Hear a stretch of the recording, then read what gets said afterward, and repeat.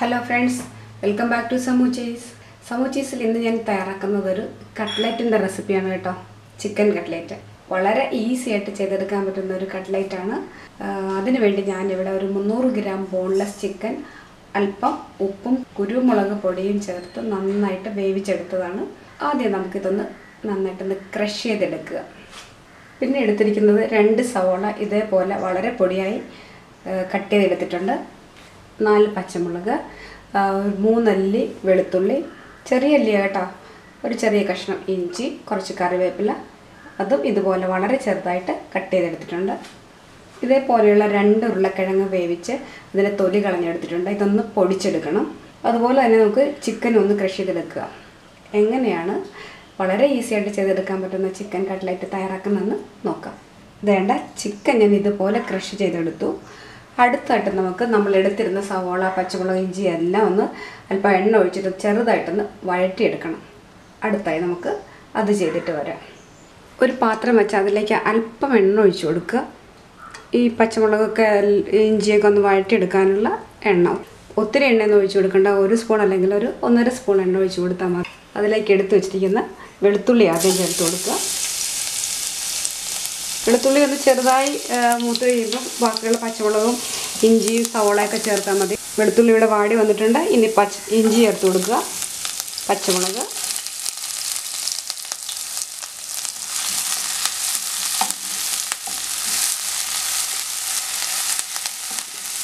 പച്ചമുളക് ഇഞ്ചിയൊക്കെ ഒന്ന് ചെറുതായിട്ട് വാടിയാൽ മതി. ഇനി ചെറുതായിട്ട് മുറിച്ച് വെച്ചിരിക്കുന്ന സവോള ചേർത്ത് കൊടുക്കുക. സവോള ഒത്തിരി ബ്രൗൺ നിറത്തിലൊന്നും വഴറ്റണ്ട കേട്ടോ. ചെറുതായിട്ടൊന്ന് വഴറ്റിയെടുത്താൽ മതി.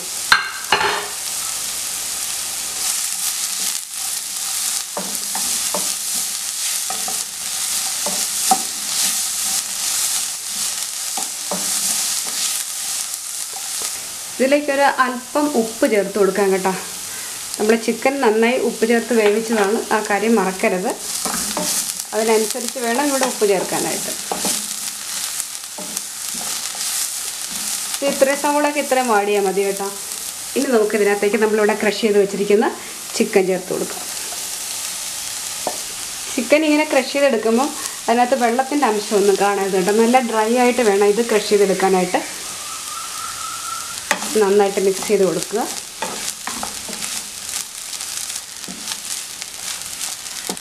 ഇതിനാവശ്യമായ കുരുമുളക് പൊടി ചേർത്ത് കൊടുക്കുക. ഞാൻ ഇതേപോലെ ഒരു സ്പൂൺ കുരുമുളക് പൊടിയാണ് ഇടുന്നത്. അത് നോക്കിയിട്ട് പോരാതെ വരുവാണെങ്കിൽ നമുക്ക് ചേർത്ത് കൊടുക്കാം കേട്ടോ. നന്നായിട്ട് മിക്സ് ചെയ്ത് കൊടുക്കുക.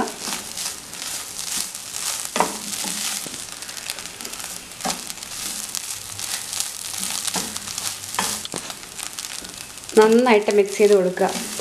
ഇത് ഉപ്പും എരിവും ഒക്കെ കറക്റ്റായിട്ടുണ്ടോ എന്ന് നോക്കണം. പോരാതെ വരുവാണെങ്കിൽ ഇതെല്ലാം ചേർത്ത് കൊടുക്കണം കേട്ടോ. ഇതിലേക്ക് ഞാൻ ഒരു അര ടീസ്പൂൺ മീറ്റ് മസാല ചേർക്കുവാണേ. മീറ്റ് മസാലയ്ക്ക് പകരം ഗരം മസാല ചേർത്താലും മതി കേട്ടോ. ഞാൻ അല്പം മീറ്റ് മസാല ചേർത്തതേ ഉള്ളൂ. നിങ്ങൾക്ക് താല്പര്യമെങ്കിൽ മാത്രം അത് ചേർത്താൽ മതി. അല്ലെങ്കിൽ കുരുമുളക് പൊടി മാത്രം ചേർത്താൽ മതി. നന്നായിട്ട് പച്ചമുളക് ചേർത്തിട്ടുണ്ടല്ലോ. അതിന്റെ എരിവും കുരുമുളകിന്റെ ഒക്കെ എരിവും കൂടെ നന്നായിട്ട് നല്ല എരിവൊക്കെ കാണും.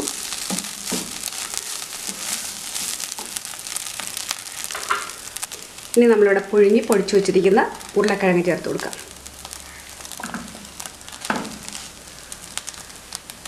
ഇതിലേക്ക് കറിവേപ്പില ചേർത്ത് കൊടുക്കുക. മല്ലിയില ഉണ്ടെങ്കിൽ അത് ചേർത്ത് കൊടുക്കാം കേട്ടോ. എന്റെ കയ്യിൽ ഇല്ലാത്തത് കൊണ്ടാണ് ഞാൻ ചേർക്കാത്തത്. നിങ്ങളുടെ കയ്യിലുണ്ടെങ്കിൽ മല്ലിയിലയും കൂടെ ചേർത്ത് കൊടുക്കാം. എല്ലാം കൂടെ നന്നായിട്ട് മിക്സ് ചെയ്ത് കൊടുക്കുക. തീ കുറ തീ അങ്ങ് സ്റ്റവ് അങ്ങ് ഓഫ് ചെയ്യാം കേട്ടോ.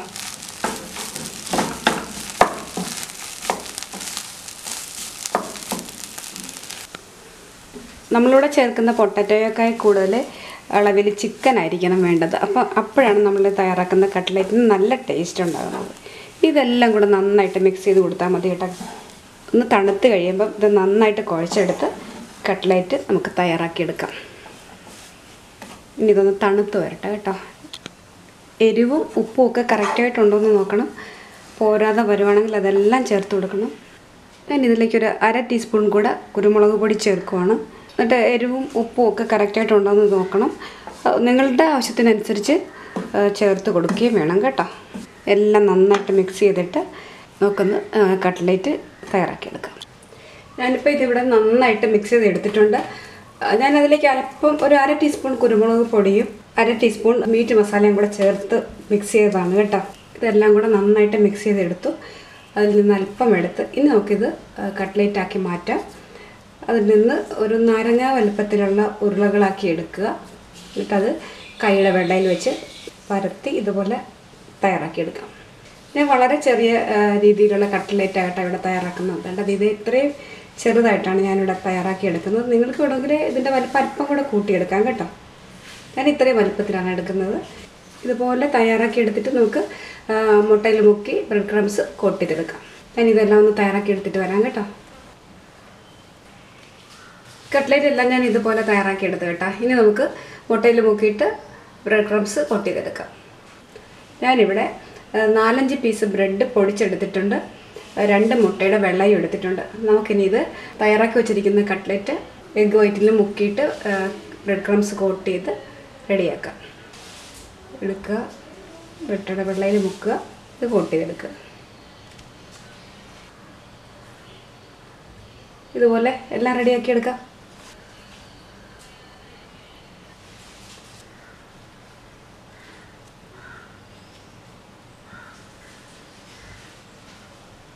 കട്ട്ലറ്റ് മുട്ടയിൽ മുക്കിയിട്ട് ബ്രെഡ് ക്രംസ് കോട്ട് ചെയ്ത് ഞാൻ ഇതുപോലെ റെഡിയാക്കി. അടുത്തായി നമുക്കിതൊന്ന് ഫ്രൈ ചെയ്തെടുക്കാം. കട്ട്ലറ്റ് ഫ്രൈ ചെയ്യാനുള്ള എണ്ണ ഇവിടെ ചൂടായി. നമുക്കിനി ഓരോ തയ്യാറാക്കി വെച്ചിരിക്കുന്ന ഓരോ കട്ട്ലറ്റും അതിനകത്തൊക്കെ ഇട്ട് ഫ്രൈ ചെയ്തെടുക്കാം. ഹൈ ഫ്ലെയിമിലൊന്നും ഇട്ട് ചെയ്യരുത് കേട്ടോ.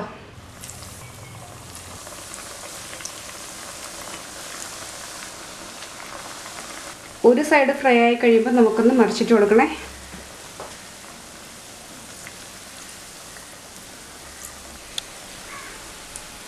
ഇതിന്റെ രണ്ട് സൈഡ് കൂടെ നന്നായി ഫ്രൈ ആയിട്ടുണ്ട്. നമുക്കിനി ഇത് എണ്ണയിൽ നിന്ന് കോരിയെടുക്കാം.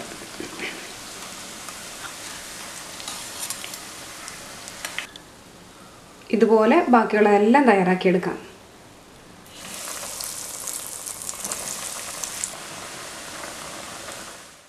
വളരെ സിമ്പിളായിട്ട് ചെയ്തെടുക്കാൻ പറ്റുന്ന ചിക്കൻ കട്ട്ലേറ്റ് ഇവിടെ റെഡിയായി ഇഷ്ട- ഇഷ്ടപ്പെട്ടാൽ ഒന്ന് ട്രൈ ചെയ്ത് നോക്കുക. എന്നിട്ട് നിങ്ങളുടെ വിലയേറിയ നിർദ്ദേശങ്ങളും അഭിപ്രായങ്ങളും ഒക്കെ അറിയിക്കുക. വീണ്ടും നമുക്കൊരു പുതിയ റെസിപ്പിയുമായി കാണാം. താങ്ക്